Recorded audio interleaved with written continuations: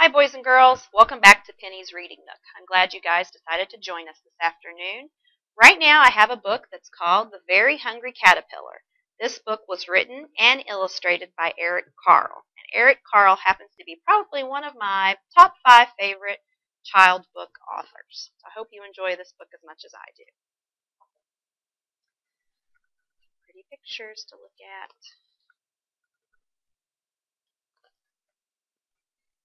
Sunshine. In the light of the moon, a little egg lay on a leaf. One Sunday morning, the warm sun came up, and pop, out of the egg came a tiny and very hungry caterpillar. He started to look for some food. On Monday, he ate through one apple, but he was still hungry.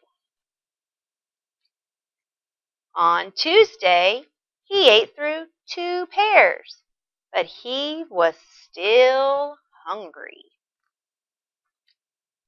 On Wednesday, he ate through three plums, but he was still hungry. On Thursday, he ate through four strawberries, but he was still hungry. On Friday, he ate through five oranges, but he was still hungry. Uh-oh.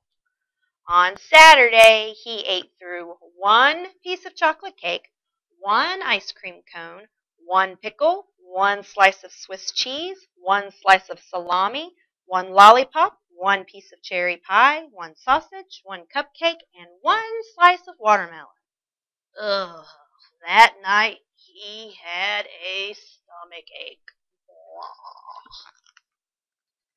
The next day was Sunday again. The caterpillar ate through one nice green leaf, and after that he felt much better.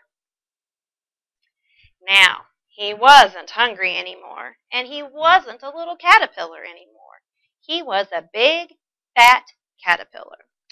He built a small house called a cocoon around himself. He stayed inside for more than two weeks. Then he nibbled a hole in the cocoon, pushed his way out, and he was a beautiful butterfly. The end. That was The Very Hungry Caterpillar by Eric Carle. I'll see you next time, boys and girls. Bye bye.